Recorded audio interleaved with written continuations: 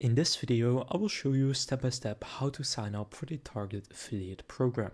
So the first step is to just open up your browser and then just search for Target affiliate program. Then click on the first link, which is partners.target.com.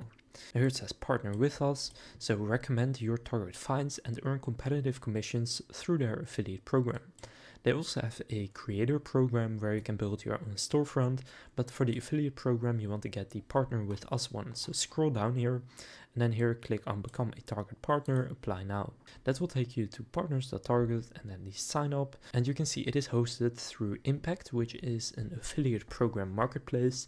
Now I already have an Impact account.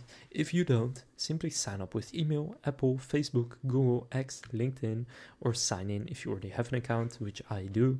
But the sign up process is pretty simple. You just want to show how you're going to promote it. You need to enter some personal information such as your first and last name, where you're from, and sometimes you will need to add some text information and just follow all the prompts to creating your account.